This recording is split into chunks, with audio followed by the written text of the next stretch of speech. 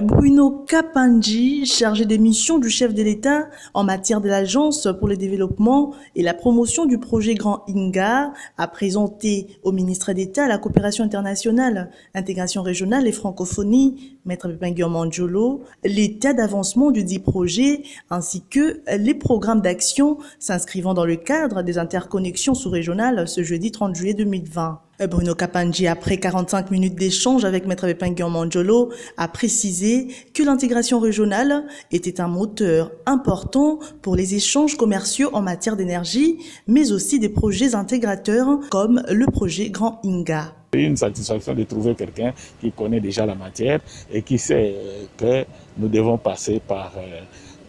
notamment son ministère, en plus du ministère de, de, de, l'énergie, le ministère des Affaires étrangères. C'est euh, un projet qui a des implications diplomatiques, régionales et même internationales.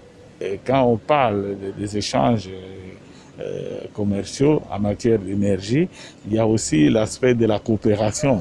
euh, coopération régionale, intégration régionale. L'intégration régionale se fait au travers de projets intégrateurs, de projets structurants comme le projet euh, Grand Inga. Un projet qui vise la satisfaction des besoins en énergie électrique